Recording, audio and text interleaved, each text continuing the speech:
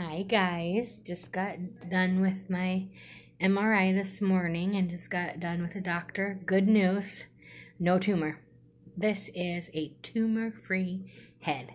I have had glioblastoma multiform for 10 months now and there are no tumors growing and I've had two brain surgeries. They've been able to remove them. No regrowth. So we're extremely happy right now. Here's my hubby letting everybody know. But I'm getting my my medicine, my little miracle medicine right now through my IV, my port, my Avastin. I'm doing good. But medication is working. And look how much my hair is growing back. It's coming back really fast and curly. But the doctor said this is the best news we can ask for with such highly deadly cancer. Um, 10 months. I've made it. I'm still doing great. No tumors.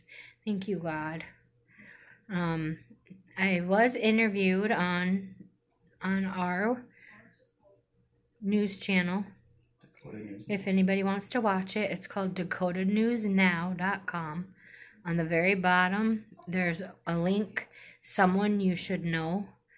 Mine is called Tragedy After, or Triumph After Tragedy is what mine is. But if you click on someone you should know, you'll see me and my my family gets interviewed for my positivity and my strength through this cancer and explains the cancer a little bit. But I just wanted to check in while I'm getting my my medicine.